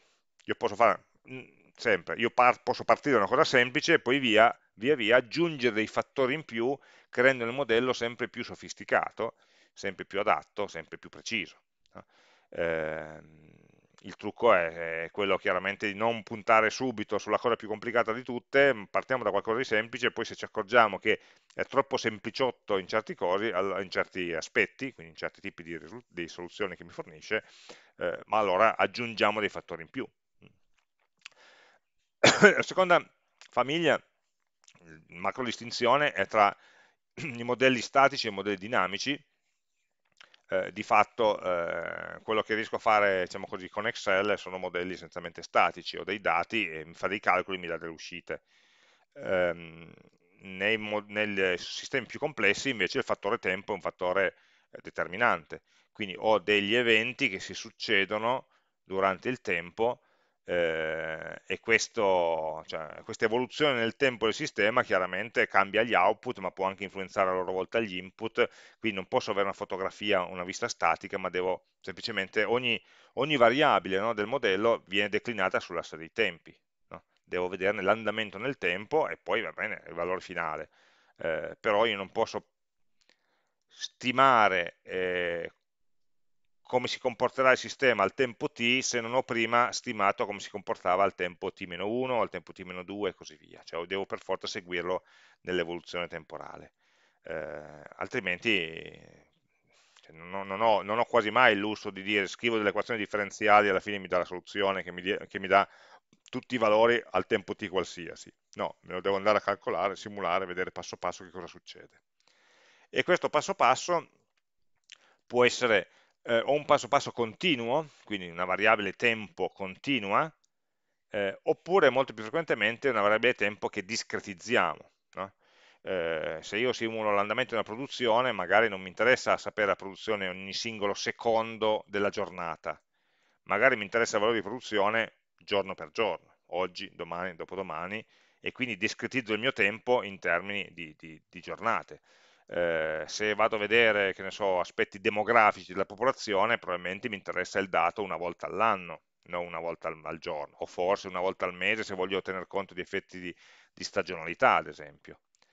Quindi si rinuncia a pensare al tempo come una variabile continua e si eh, sceglie un'unità di misura e si dice, va bene, allora noi accettiamo di osservare e modellare no, il comportamento del sistema solamente in certi istanti di tempo staccati, distinti, separati. E tra uno, quindi il nostro asse del tempo non sarà un asse del tempo così, ma sarà un asse del tempo così. Ok? E questo è un istante di tempo che, mi, che vedo, che modello, che mi interessa, mm, so, il tempo 3, qui ho il tempo 5, qui ho il tempo 11, in mezzo non succede nulla, non esiste il tempo intermedio, non posso neanche interpolare in mezzo, ma cosa era successo 6? Non esiste 6, nel mio, nel mio orologio non esiste, la lancetta fa uno scatto da qui a qui, in mezzo non è mai passata, no? non è mai esistita. E io ho delle istantanee, delle fotografie istantanee del, del comportamento presunto, no? simulato del sistema, solamente a certi istanti di tempo. In mezzo non mi curo di quello che succede presumo ovviamente nel mio modello, presumo che lì in mezzo non succeda nulla di interessante, no? nulla che avrei voluto barra dovuto modellare. Ehm, Francesco mi chiede se in questi algoritmi eh, è utile l'intelligenza artificiale, eh, anche, no? sicuramente, cioè per, soprattutto per eh, magari andare a impostare quelli che possono essere dei parametri di questo modello che siano più realistici possibili. Hm? Ehm, a volte l'intelligenza artificiale cerca di eh, direttamente trovarmi la soluzione o una configurazione buona a partire da molti esempi che ha già visto. No? Il problema dell'intelligenza artificiale non è tanto applicarla, ma è addestrarla, perché eh, poi sono dei metodi statistici che non fanno altro che cercare di ehm, eh, capire delle, del, delle mh, dinamiche ripetitive, cioè, quando ho visto tante volte una certa situazione, allora questa rete neurale profonda, tutte queste belle cose complicate, alla fine mi trova una soluzione che è tanto migliore quanto il problema che gli sto ponendo di fronte è simile a quelli che ha già visto in passato, di cui però gli ho dovuto dare la soluzione, no? non impara da solo. No? Quindi in qualche modo eh, la simulazione possono anche essere usati come addestratori per l'intelligenza artificiale, la quale poi a, sua volta può cercare di entrare a parte del modello. Quindi qua è un, è un ambito che noi tocchiamo solamente una, diciamo così, la superficie, ma dentro no, si, può, uh, si, può, e si deve rendere eh, molto più complesso. Se poi qualcuno di voi con un po' di simulazione riesce a diventare a, a far prevedere so, il mercato in borsa diventare miliardario, me lo dice, no? cioè ci mettiamo d'accordo su come dividere eh, le vincite. Allora, ciò che studiamo in tutto questo diciamo così, ampio problema, ciò che studiamo noi è la simulazione ad eventi discreti. No? Ehm, quindi la simulazione di sistemi dinamici, variabili nel tempo, mh?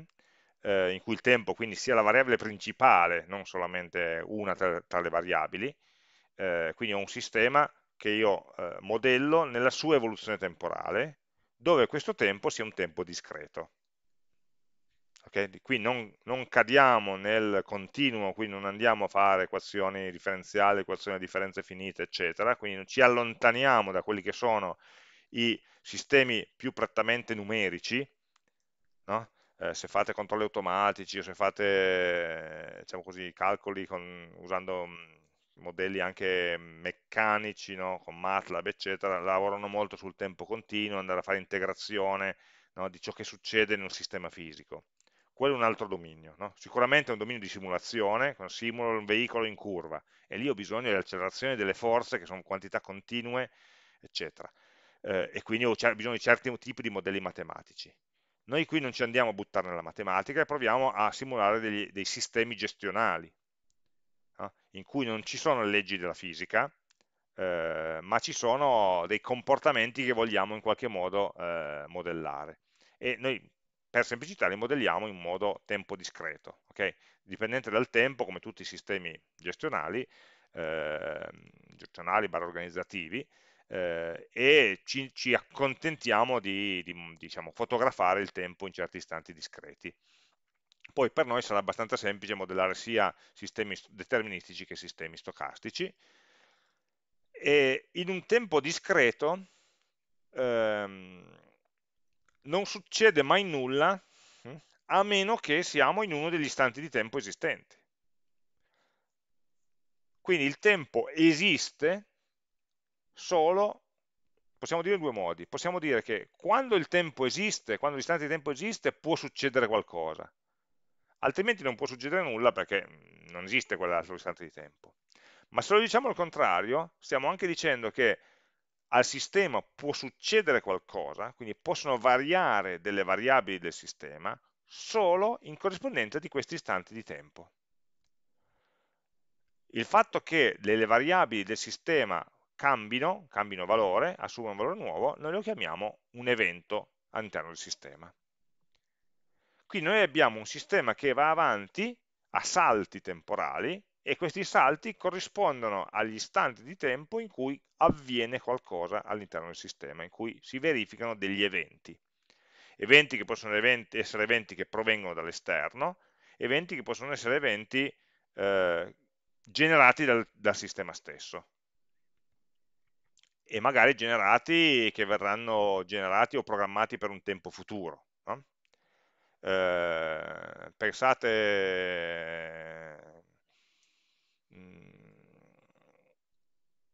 una cosa stupida, un, un lavaggio macchine, ok? Eh, avete un sistema in cui entrate, fate la coda il sabato per andare a lavare l'auto e qui ci sono i rulli che vi lavano la macchina, entro cui la vostra macchina arriva, può entrare, qui c'è un'auto che aspetta, qui c'è un'auto che è dentro e qui c'è la coda delle auto che aspettano. Allora, io ho degli eventi che sono eventi che arrivano dall'esterno, cioè il fatto che arriva una nuova auto. Questa può arrivare quando vuole. Eh, quindi avrò una distribuzione statistica, che ne so, Poisson o cose di questo genere, che mi dice con quale tasso arrivano le nuove macchine per farsi lavare. Poi in realtà non è vero, perché Poisson è una figata, no? perché ti modella un tasso di arrivo eh, arbitrario, eccetera. E dopodiché tu lo sai che se vai alle, alle 11 del mattino o alle 4 del pomeriggio è più probabile che ci siano altre auto che vanno piuttosto che non, magari a, a, alle, alle, alle, 13. No?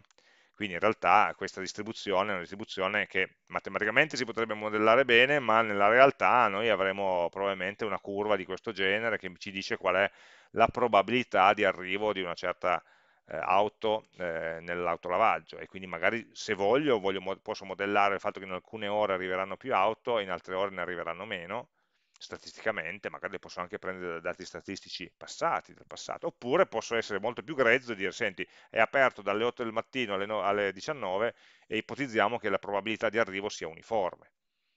È un'approssimazione molto più grezza.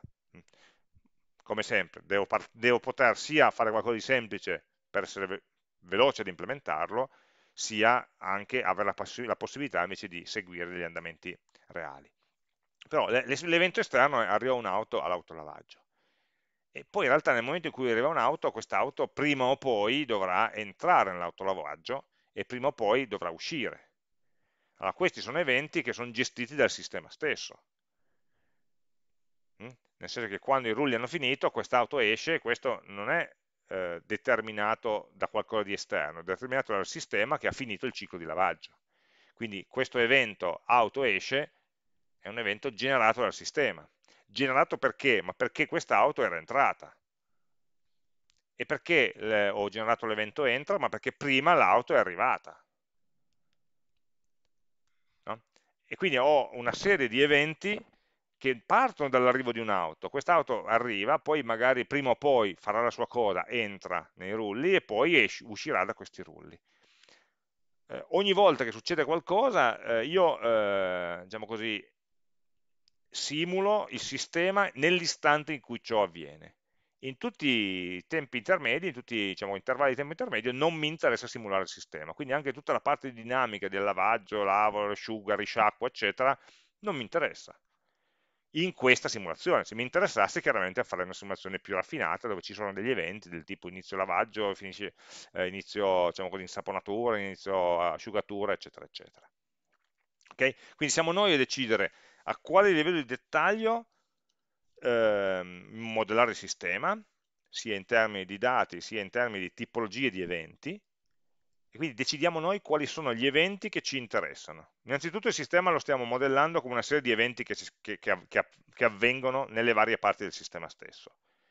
Quindi non eh, con modelli diciamo così, lineari o non lineari, eh, continui, ma semplicemente con eventi. Elenchiamo quali sono gli eventi che mi interessano e in automatico, avendo definito gli eventi che mi interessano, tutto il resto non mi interessa più, e tutti gli istanti di tempo in cui questi eventi non si verificano non esistono per me. Quindi sto tagliando fortemente ovviamente. No?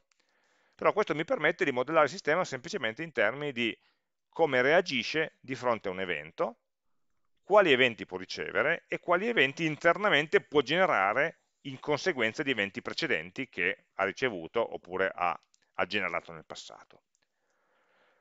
Se noi ehm, simuliamo un sistema di questo genere nel tempo, eh, è abbastanza naturale che questi eventi dovranno essere eh, simulati, gestiti in ordine di tempo crescente. Cioè non ha senso simulare eh, l'uscita di un'auto prima che questa sia entrata, o, o viceversa. No? Eh, cioè, no, viceversa sì, cioè, se prima deve entrare poi deve uscire. Quindi questi eventi che possono arrivare dall'esterno possono essere generati internamente, quando vengono elaborati dovrò essere sicuro di elaborarli in ordine temporale per mantenere diciamo così, la causalità del comportamento del sistema. Per questo usiamo una coda prioritaria, cioè ciascuno di questi eventi avrà dentro sicuramente l'informazione temporale. Questo evento avviene al tempo t, questo evento avviene al tempo t2 possono essere generati in momenti diversi, ma nel momento in cui lo considero, lo valuto, dico ok, io so che eh, quest'auto prima o poi dovrà entrare, quest'altra auto prima o poi dovrà entrare. E io so che dovrà entrare al tempo 10, questa dovrà entrare dopo due minuti che la precedente è uscita. Eh, io ogni evento di quelli che devono ancora succedere nel futuro dovrà avere una, una marcatura temporale che dice quando questo avverrà e ogni volta che devo simulare qualcosa andrò a chiedermi qual è il prossimo evento che succederà e quindi dopo che ho simulato questo evento mi chiederò guarda ci sono ancora questi due eventi questo e quest'altro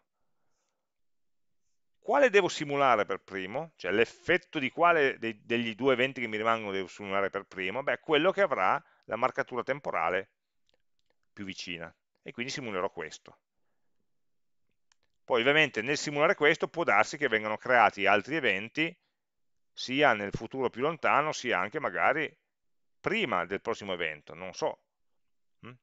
Dipende che cosa sta succedendo, che cosa sto simulando nel mio sistema. Ciò che è certo è che io ho eh, buttato via tutto ciò che non mi interessava, cioè tutto ciò che non è un evento all'interno di un sistema e l'evento lo definisco come cambia una variabile, cambia un valore, cambia qualcosa all'interno del sistema. Questi eventi possono arrivare dall'esterno in qualunque momento, possono essere generati dal sistema quando? Quando sto elaborando eventi precedenti, perché quando non sto elaborando un evento il mio sistema non c'è, non esiste, qua in mezzo non esiste nulla, ok? Quindi tutto succede solamente in questi punti. eh, quando elaboro un evento ne posso generare di nuovi che mi stanno a modellare quali sono le conseguenze di aver fatto una certa azione. Se io faccio un'azione, come conseguenza ce ne saranno altre nel futuro. E le vado a mettere lì. E poi quando ho finito di elaborare un evento, le conseguenze di un evento, mi chiederò qual è il prossimo evento, evento che devo elaborare. Beh, tra quelli che ho previsto che sarebbero successi, il più vicino. Non ha senso andare a, a simulare un evento futuro quando quello precedente, appunto, non è ancora stato eh, simulato, anche perché il sistema si troverà in uno stato diverso. Allora, eh, questa cosa la possiamo riassumere in una figura di questo genere, in cui noi abbiamo eh, la struttura dati principale, che per noi sarà una lista prioritaria, una coda prioritaria, che mantiene una lista di eventi. Lista nel senso di coda prioritaria. Il simulatore ogni volta che è libero, no, che ha finito di fare il lavoro precedente, chiede a questa lista dammi il prossimo evento da simulare. Noi sappiamo, dalla coda prioritaria mi darà quello che è il tempo minimo, la variabile tempo minima. Dentro poi con questo evento fa i suoi conti, fa le sue simulazioni, e nel fare i suoi conti, quindi valuta qual è la conseguenza di quell'evento, può generare degli eventi nuovi okay? e questi eventi nuovi andranno a finire a loro volta nella coda degli eventi e quindi è un sistema che si autoalimenta da solo poi in realtà ci sono anche degli eventi che possono arrivare dall'esterno come input quindi arrivano nuove richieste, arrivano nuovi clienti, arrivano nuovi eccetera, eh, che vanno a loro volta direttamente a popolare questa lista degli eventi. Quindi ho delle, degli eventi che, esogeni che arrivano dall'esterno e degli eventi endogeni che sono semplicemente l'evoluzione del sistema stesso.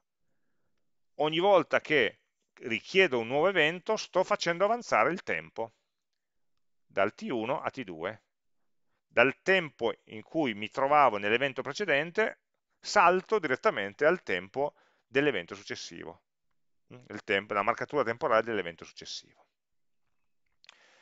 e cosa vuol dire che il simulatore lavora? Beh, il simulatore modellerà un sistema che eh, sto descrivendo attraverso un insieme di variabili.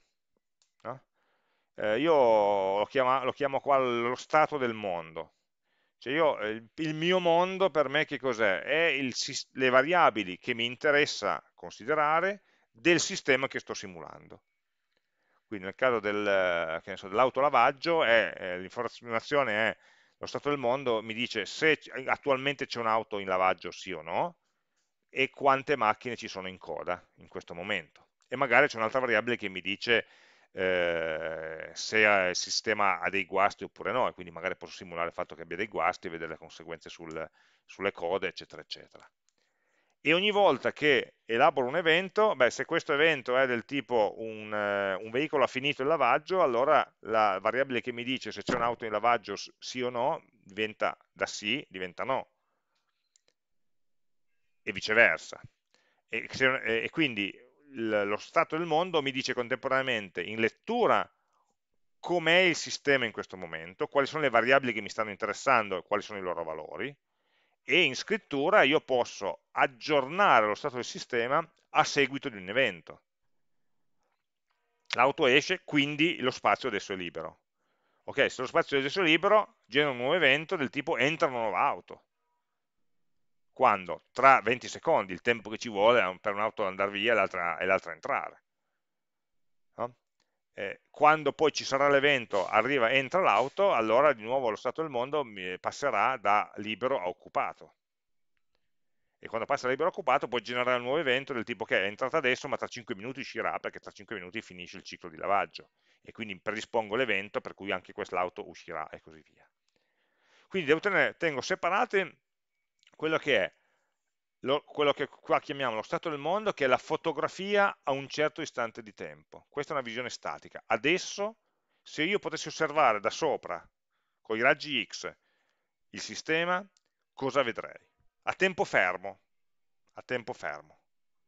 E poi invece la visione temporale, l'asse dei tempi ce l'ho qua, nascosta in questa lista degli eventi, che mi dicono quali sono le cose che succederanno nel futuro. E queste cose molto probabilmente ciascuna di esse andrà a modificare lo stato del mondo, allo stato del mondo è eh, invece, come dicevamo, solamente valido in un certo istante di tempo. Poi sono un insieme di variabili. Eh, WR sono operazioni di lettura, eh, leggi e scrivi. Cioè, per dire che qua ho delle variabili di cui posso fare get e set per andare a, a, a, a capire no? cosa sta succedendo e a modificare le informazioni su ciò che succede. Questo è il, il cuore no? del simulatore. Poi a cosa mi serve tutta questa macchina? Hm? Mi serve per valutare dei scenari, degli scenari dicevamo prima, e quindi questi scenari saranno eh, parametrizzati in qualche modo. Cioè io posso avere l'autolavaggio in cui il tempo di lavaggio magari è di 5 minuti, oppure posso avere il modello turbo in cui il tempo di lavaggio è di 4 minuti. Però ovviamente mi costa di più il modello turbo. No? Eh, posso avere un impianto oppure due impianti, posso avere in parallelo, no? eh, posso avere, so, una, uno sconto del 10% se tu vieni dalle 12 alle 14, è un altro parametro, no? E quindi questo qua avrà impatto su quella che può essere magari la distribuzione di arrivo delle, dei vari clienti. Giocando con questi parametri, il simulatore ovviamente terrà conto nella generazione dei nuovi eventi di quelli che sono questi parametri, le conseguenze di questi parametri. Quindi io lancio la simulazione con certi parametri, ok? Ipotizziamo di avere il sistema eh, da 5 minuti, con, però faccio uno sconto nelle ore diciamo così, fuori dal picco eh, per cercare di, eh, di, di, portare più clienti nelle ore in cui c'è meno coda. E alla fine ho delle misure, eh, simulo una giornata, simulo due giornate, simulo una settimana di lavoro con questi parametri e alla fine avrò delle misure chiave che il simulatore deve raccogliere che saranno, potranno essere il numero di auto, può essere la, coda, la lunghezza massima della coda, la lunghezza della, media della coda, il fatturato e altri fattori che mi possono servire per valutare quanto sia buona questa, eh, questa soluzione. E quindi alla fine posso giocare, vedere, guarda, se io prendessi il modello turbo che mi costa tot euro in più, eh, a livello di fatturato, simulato chiaramente, reale non lo so, eh, quanto, quale, quale, sarebbe la differenza? Perché ovviamente il modello turbo, meno tempo, riesco a, a, far passare più auto in unità di tempo, poi magari può anche esserci un fattore che posso mettere no? di abbandono. Se, andate, se, voi arrivate lì e, e, vedete che ci sono più di 10 macchine in coda, girate indietro, ne cercate un'altra, andate da un'altra parte, oppure decidete che tutto sommato era ancora, era era ancora abbastanza pulita così no, l'auto. E, e, quindi più è lunga la coda, che è una conseguenza di tanti altri fattori, allora più sarà alto questo tasso di abbandono o viceversa. Quindi è una cosa che analiticamente, eh, se vi chiedessi scrivete una formula che vi predice il fatturato sulla base di questi fattori, e probabilmente mh, mm, lavoreremo tutto il giorno ma non troveremo una formula chiusa, semplice, che tenga conto di tutto. No?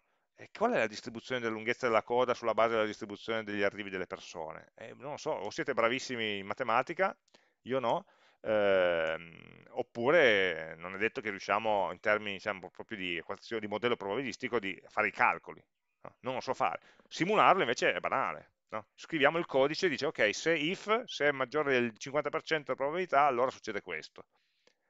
E alla fine della simulazione abbiamo dei numeri. No? il fatturato, la lunghezza della coda, il numero di clienti, la fidelizzazione, tutto quello che vogliamo, insomma, ci possiamo calcolare e sulla base di questo facciamo varie prove. Cambio le prove, vedo il risultato. Cambio i parametri di ingresso, vedo il nuovo risultato e così via. Se ci, se ci sono dei, dei, fattori statistici qua in mezzo, stocastici, qua in mezzo ovviamente per determinati parametri farò più run, più esecuzioni parallele e i risultati saranno, oscilleranno un pochino intorno a certi valori e quindi vado anche a vedere quanto rischiano di oscillare e poi decido. Il simulatore non mi dice cosa fare, mi dice se gli ingressi sono questi, sulla base delle regole che mi hai dato, gli output sarebbero questi. Prova tu, valuta tu e alla fine decidi. Però hai uno strumento in mano che ti permette no, di valutare l'effetto delle tue scelte in modo non solamente così intuitivo, ma in modo eh, più oggettivo, con la chiaramente precisione e qualità che ti può dare il simulatore che hai implementato qui che può essere più o meno complicato, no? a seconda chiaramente di, della precisione che, che ti interessa. Questo è il concetto generale, poi ovviamente dobbiamo tradurlo in codice e eh, tutto questo lavoro, questa eh, lista degli eventi, altro non è che una coda prioritaria no, di oggetti di tipo evento che ci dobbiamo creare, eh, in cui questi vari oggetti eventi avranno come fattore principale sempre la variabile tempo. Tempo nel senso di local time, per, per capirci, quindi tempo effettivo, oppure anche un tempo anche lì discretizzato, un numero intero, mi basta un numero, no? il numero di minuti nell'ora, il numero di minuti all'interno della giornata, a volte, è, a volte mi interessa avere eh, la data esatta, la data e l'ora esatta, a volte invece mi interessa semplicemente un numero progressivo che mi dia no, un'idea un, un di quello che è l'ordinamento, cioè chi viene prima e chi viene dopo in un, certo ordine. Ehm,